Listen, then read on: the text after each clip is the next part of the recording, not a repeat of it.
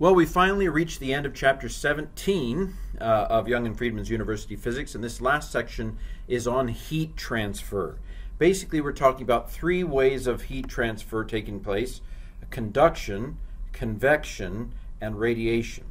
So, conduction has to do with a heat transfer, a flow of heat between two bodies when they're touching each other in some way, they're in contact uh, with each other. And we call this heat current H. Uh, it is a flow of heat.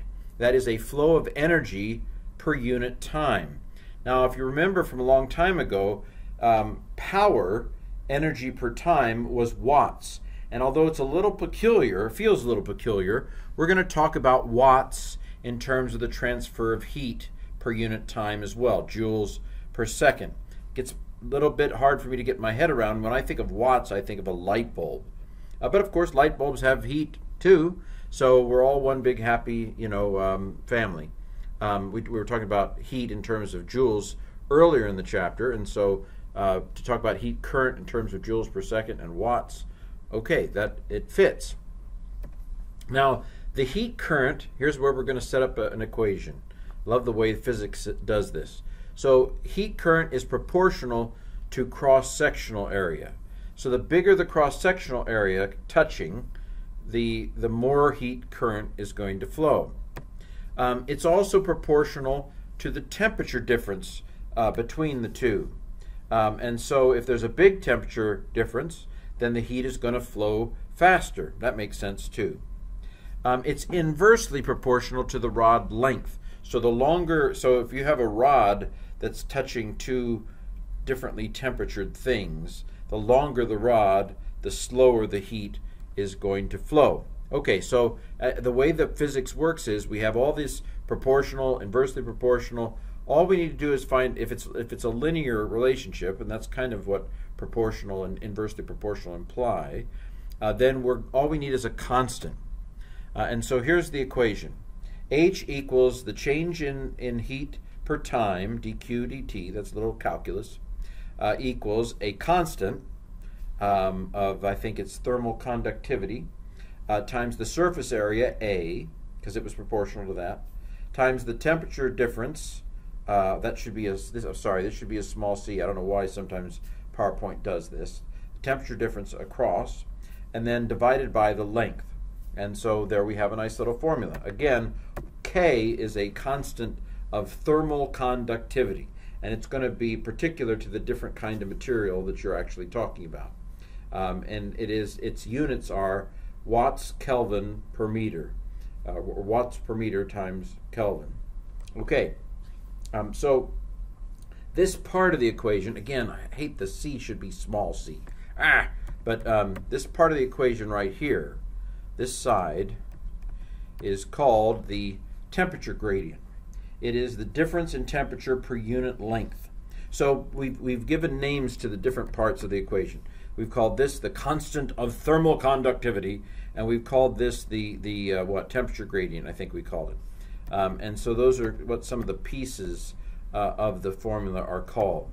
Now, what if the temperature is not flowing uniformly? Well, then we're going to have to do a little calculus. Um, we're going to have to go down to the to the infinitesimals. So heat equals the change in Q dq dt per time uh, is equals the negative uh, Ka dt dx, where dt dx is the change in temperature uh, per time. Um, heat current must be the same though uh, in all the materials. That is, that, that rate is going to be the same uh, through all the materials in succession. Now, if you have parallel paths, instead of, uh, instead of just one place where it's touching, if you have two places where it's touching, then the, the total heat flow is going to be the sum of the flow in this one plus the sum plus this, the flow in the other one. Okay, um, thermal resistance. This is some something that you use in construction. A lot of times in uh, America, we are again old school, and so you talk about BTU, British thermal units per hour, uh, with uh, A in feet squared and change of temperature in F Fahrenheit squared. But basically, if you take the equation and you take L over K, remember L was in the bottom and K was at the top. Uh, and so If you divide by r, then that takes care of those two, and you're left with this. Uh, again, the h and the c should be small. Um, but um, but anyway, um, uh, this is the, R is sometimes called the thermal resistance of a material. Um, that is sometimes is a a a uh, a number that is relevant to heating and cooling in the construction business. Okay, um, convection. So we've been talking about conduction. That's when two things are touching. Now we're going to talk about convection. Convection has to do with fluids. So conduction has to do with solids. Convection has to do with the flow of heat in from one of a fluid. A fluid could be a liquid, or a fluid could be a gas, because gases flow too. I mean, if you've ever seen wisps of air, you're seeing you know convections of, of air, and of course, heat convection in fires is something that fire fire people have to learn about. Um, so there's force convection, um, like in my heart. My heart is a pump that forces the flow of, of blood in my body. May it continue for a long time. There's also free convection, you know, where where it happens naturally because of heat differences. I suppose tornadoes are uh, uh, heat free convection gone amuck. Um, so uh, we don't get a formula, uh, which suggests to me that it's a lot more complicated uh, than they want to get into in a uh, introductory physics textbook. Um, so probably that's going to get into some calculus in the advanced courses. Uh, but we can get some sense of, of what kinds of, of formula we might have for convection. So heat current of this sort, convection, is directly proportional to the surface area of you know of whatever solid is nearby. So let's say you have a you know a really hot surface here uh, and cold air. Well, then there's going to be a current that is set up that's directly proportional to the surface area of that that solid that's near near the liquid. Um, the viscosity of fluids uh, slows convection down near the surface, um, and then basically um, the convection is going to approximately proportional to the five fifths power of the temperature difference between the surface and the fluid. Again, they don't give us a formula. They just give us these broad these broad strokes. Something to the five fourth fourth power means you raise it to the fifth power and take and then take the fourth root of whatever that is. Okay, so that's convection. Doesn't go into a lot of detail on convection, which leads me to believe that it's rather complicated and you'll have to take an advanced physics course. And you didn't think this was advanced. Okay, finally radiation. Every body emit, emits electromagnetic energy. I am right now. This is how you can, you know, infrared scopes that can tell where uh, where people are in a building. Um, radiation is the transfer of heat by electromagnetic electromagnetic waves, and of course, electromagnetic waves go all the way from really, really slow waves, you know, AM radio waves, you know, to cosmic gamma rays and, and that sort of thing, uh, where the, the frequency gets higher and higher and higher and higher. Um, so radiation is a transfer of heat by electromagnetic waves. This rate is proportional to the surface area again of the thing of the thing that's radiating or absorbing. Those are the two uh, radiation radiating radiating is when the heat is coming out. Absorbing is when the heat is going in. So this rate is going to be proportional to the surface area. It's going to be proportional to the fourth power of, of temperature Kelvin. Um, so it, it, spikes uh, according to the fourth power. Uh, the, the more the temperature, um, the more the radiation. Here's a new thing. It's proportional to something called emissivity.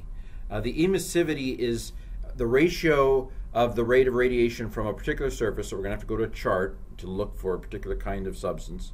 The radiation from a particular surface, and then an ideal uh, radiating surface that would, which is a black body, basically something that would both absorb everything and, and radiate everything. This is this number, the emissivity, is going to be somewhere between zero and one. And then, so basically, again, we're going to need a constant. We can create a formula here, right? Uh, H equals A times some constant times this emissivity times temperature to the fourth power, right?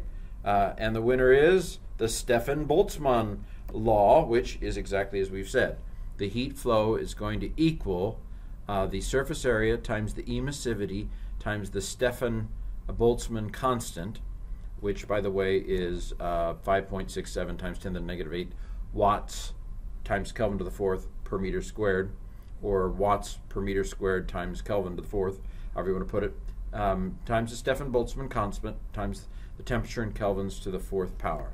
Okay, so there you have it. Now, uh, since bodies both radiate and absorb, the net flow of heat is going to be basic. The H net is going to be this times basically the temperature difference, where this S is the temperature of the surroundings to the fourth power. And basically, if this ends up being positive, then it's giving off heat, uh, because uh, in that case, the, the the temperature being emitted uh, is greater than the temperature of the surroundings. If this ends up being uh, negative, then that means that the temperature, uh, that energy is being absorbed, uh, and the temperature of the surroundings is greater than the temperature of the uh, of the thing. Okay, so there you have that. But I've gotten through this quickly. Um, black bodies and reflectors. So a good absorber is also a good emitter. If something is a total absorber, then it is also a total emitter, and I just told you that that is called a black body. That is an ideal radiator with an emissivity uh, of 1. Uh, there, there is also an ideal reflector. This is something that would absorb no radiation at all, but would reflect all the radiation that comes toward it back into the environment. It's having a mirror, a mirroring kind of effect. Wow, that didn't take nearly as long as I thought it was, but we have now gone through this long last section of the chapter. Uh, of course, it had some formulas, and you need to do some problems to work it out, and there are some problems in the book, but may the heat be with you.